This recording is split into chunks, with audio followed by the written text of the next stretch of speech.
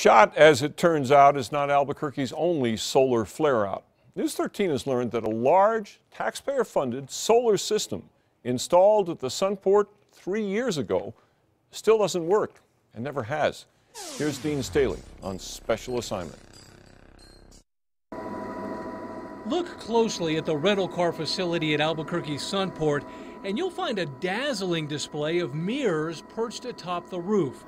A high tech system designed to focus the sun's rays at a single water filled pipe. Here's your supply that comes back from the arrays coming into the chiller. The hot water from that pipe is supposed to help heat the building in winter and in the summer power a chiller to help cool the same building. This is all the PLC controls that controls the whole system. It was an ambitious project, the largest system of its type ever installed in the U.S. A joint venture between the state, the Sunport, NMSU, and a private company called Heliodynamics based in London. From the beginning, the project was something of an experiment, a demonstration project to test whether this idea could work on a large scale. It was started in 2009, but three years and nearly half a million of your tax dollars later, and this project is still not quite up and running. The major setback came when Heliodynamics went out of business and left the project out on a limb. The state's Department of Energy, Mining, and Natural Resources funded the project to the tune of nearly $200,000.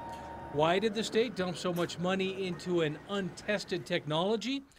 The department defended the choice, saying it was a worthwhile technology to pursue given the issues with cooling and electricity usage in the Southwest.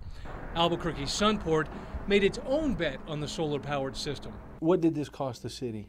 277, 278,000. What did we get for it? Um, a system that we're still trying to get to work. With heliodynamics out of the picture, the Sunport scrounged enough parts to complete the system. They hope to have it up and running next year. Why get in this business as the Sunport? We have always um, been on the leading edge of technology development, uh, whether it be security um, systems and especially on the green, I'll call it, renewable energy front. This project has been a struggle, but to be fair, the Sunport has made other investments in alternate technologies that have paid off in big ways.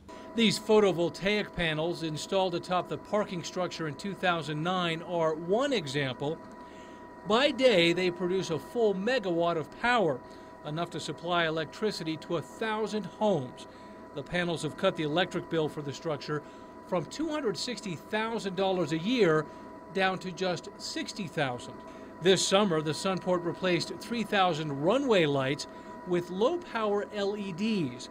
That change cut power usage by 40%. So, those strange mirrors atop the rental car building may be a symbol of government waste, but in a world of new, untested technologies, they may pay off yet. On special assignment, Dean Staley, KRQE News 13.